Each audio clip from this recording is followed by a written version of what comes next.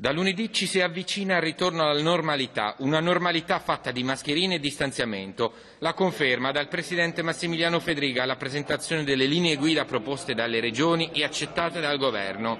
Ribaltate le raccomandazioni dell'INAIL, nessun limite di capienza negli spazi interni basato sui metri quadrati, vige la regola, aurea del metro di distanza. Lunedì riaprono bar, ristoranti, negozi, servizi alla persona come parrucchiere ed estetisti, mercati e fiere, autoscuole, palestre, centri sportivi e piscine e dal 1 giugno, questa l'intenzione di Federica, anche i centri estivi.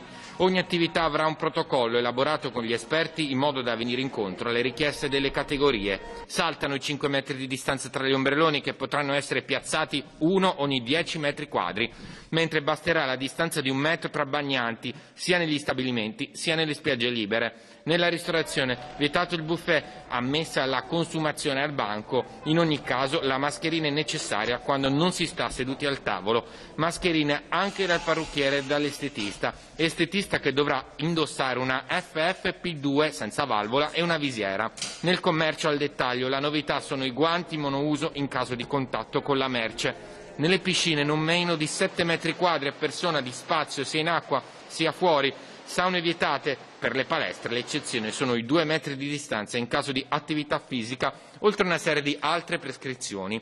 Rimangono chiusi cinema, teatri operativi solo per produzione. In tutti i casi si consiglia, ma non è obbligatoria, la rilevazione della temperatura.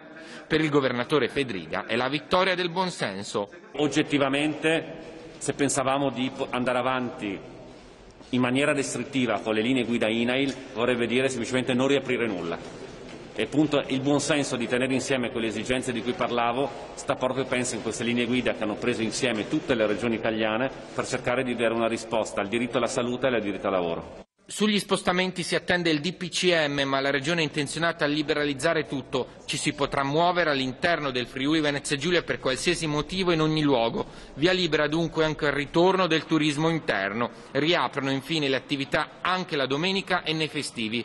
Questa fase non giustifica la misura, spiega Federica, nonostante sia favorevole alle chiusure domenicali.